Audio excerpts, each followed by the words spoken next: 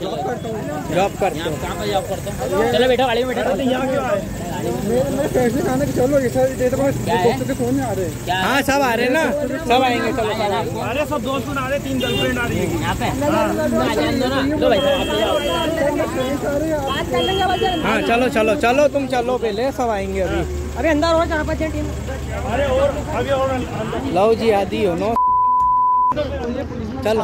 हाँ हाँ बैठना पड़ेगा। चलो ना, वो थाने से वापस आया ना घर से। कोई दिक्कत नहीं है। चलो चलो। चलो चलो चलो, बैठो। हाँ बैठो तो सही। ये, बैठो बैठो।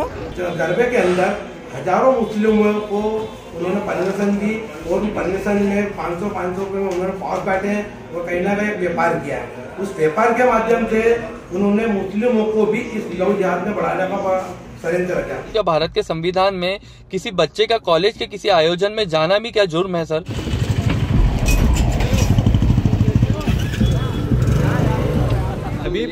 पूरा नाम? वापस बोलो चारों के अब्दुल कादिर। और वाकिद भाई भी वॉलेंटियर है अदनान भाई भी वॉलेंटियर है और हबीब भाई भी वॉलेंटियर कम से कम पच्चीस हज़ार युवक हिंदू बहनों के साथ में गरबा करते हुए पाए गए। और चार मुस्लिम युवकों को हमने तुरंत गिरफ़्तार किया। और थाना गांधीनगर को सुप्रत किया, जिसमें वहाँ के जो आयुक्त थे, अक्षय तिवारी, वो जो उनके साथ में जब पूछताछ करी तो उन्होंने संतुष्ट जवाब दे नहीं पाया तो हमने उनके खिलाफ यहाँ पर कार्रवाई करने आए और ऐसे जो लव यादव को बढ़ावा देने का जो षडयंत्र उनका कर दिया है श्रीमान थाना प्रभारी और कलेक्टर ये कि ऐसे लोगों को परमिशन दी किस कल उनके कॉलेज की तरफ़ से एक आयोजन रखा गया था, गरबा आयोजन, जिसमें उनको कॉलेज की ओर से पासेस दिए गए थे, कॉलेज की आईडी दी गई थी और इनवाइट किया गया था। कल जब वो फ़ंक्शन में गए, करीब रात में साढ़े सात, आठ बजे करीब, कुछ विश्व हिंदू परिषद के लोग और बजरंग दल के लोग वहाँ आकर उन बच्चों को पॉइंट आउट करते हैं, जो वहाँ गैर मुस्लिम है, जो मतलब मुस्लिम है, उन बच्चों को पॉइंट आउट किया जाता है और उन बच्चों को पकड़कर गांधीनगर थाने में अरेस्ट करवा दिया जाता है। हमें करीब रात को साढ़े ग्यारह बजे वहाँ से जानकारी मिलती है कि बच्चों को गांधीनगर थाने में बंद किया गया है। हम लोग वहाँ जाने की कोशिश करते हैं। हमें बताया जाता है थाने से कि यहाँ पे दो ढाई सौ लोगों की भीड़ है। अभी आप यहाँ मत आइएगा। करीब डेढ़ बजे करीब हम लोग थाने पहुँचते हैं। तो थाने से हमें जानकारी मिलती है। एस आई सर बताते हैं कि जो भी कार्रवाई हुई है, वो गरबा आयोजन मतलब कॉलेज के ऊपर की गई है। बच्चों के ऊपर कोई कार्रवाई नहीं की गई है।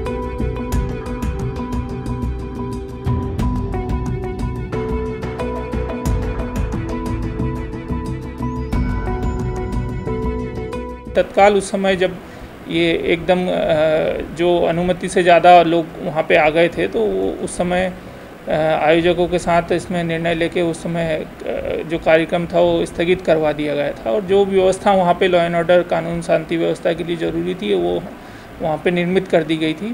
साथ ही कुछ संदिग्ध लोगों का भी उसमें पता लगा था तो उनके खिलाफ भी जो भी नियमानुसार प्रतिबंधात्मक कार्रवाई की जा सकती थी, वो की गई कुछ युवकों की चूँकि भीड़ काफ़ी थी और युवकों के विवाद होने की स्थिति बनी थी जिसमें पुलिस ने प्रिवेंटिव अरेस्ट चार लड़कों का किया था और उनको बाद में एसडीएम कोर्ट से जमानत दे दी गई। जैसा वो चार लोग जो वायरल हुआ है जिसमें कुछ आ, आ, मतलब गैर मुस्लिम सम, मतलब हाँ मुस्लिम समाज के लोग समाज के। ये समाज के संबंध में तो मैं आज कुछ डिटेल नहीं कह सकता हूँ लेकिन जैसा कि पुलिस ने जो कार्रवाई की है वो एक तो परमशन के परे जाकर जो आयोजन किया गया तो आयोजक के खिलाफ की गई है और वहाँ झगड़ा ना हो शांति बनी रहे शांति व्यवस्था बनाने के लिए प्रिवेंटिव अरेस्ट किया गया भी ऐसा कोई मामला नहीं हुआ।